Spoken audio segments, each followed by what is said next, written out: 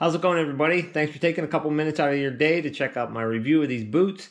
I was contacted by another boot company, and they are HUNTIT, H U N T I T, and they asked me if I would do a review on these boots. They said uh, they would like me to do just a quick unboxing and a general overview of it first, and then wear the boots for like six months or a year, and then do an like a durability type review and an update.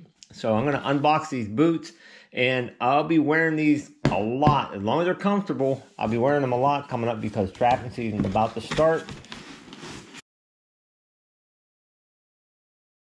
These boots are on Amazon and I will leave links to these actual boots in the description below.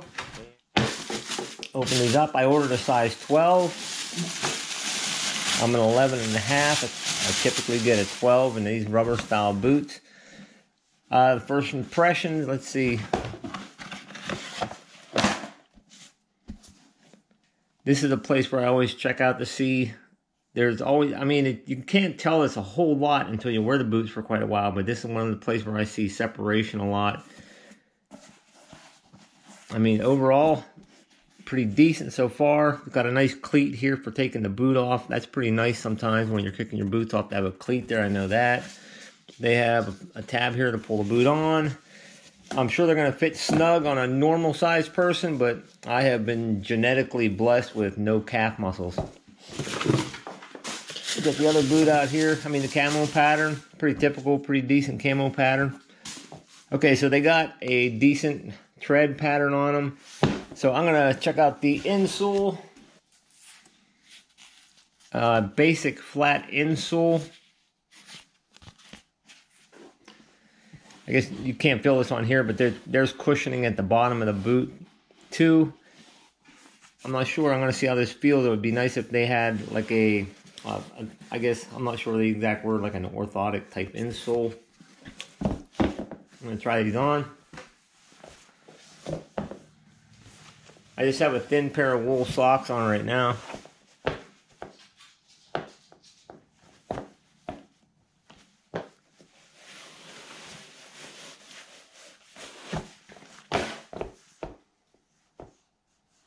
All right, so there's a lot of width in them. That's for sure. But right now, I can already tell if I put a sock on any, like a heavier wool sock on, my toes are already rubbing the front here. And these are a 12. I, am a natural 11 and a half.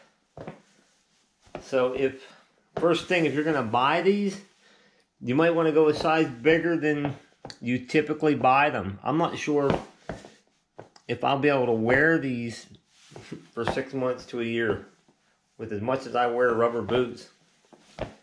We shall see.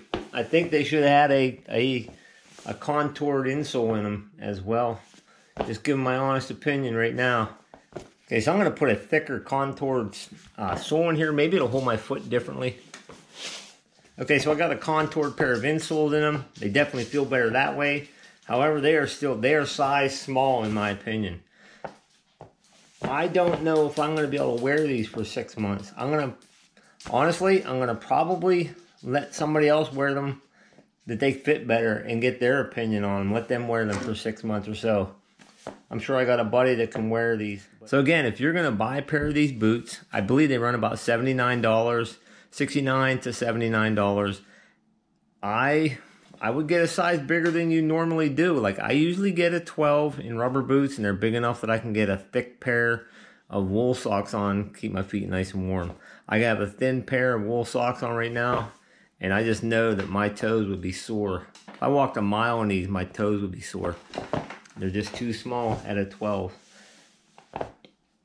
I will find somebody else to wear these boots for a while though. And then uh, I'll get a durability review off of them.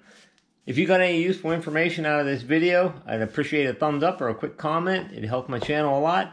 Hope you all have a blessed day and stay safe, everybody.